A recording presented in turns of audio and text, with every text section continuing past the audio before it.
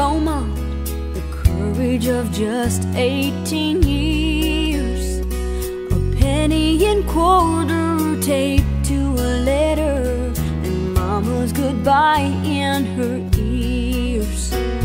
She watched as her high school faded behind her, and the house with the white picket fence.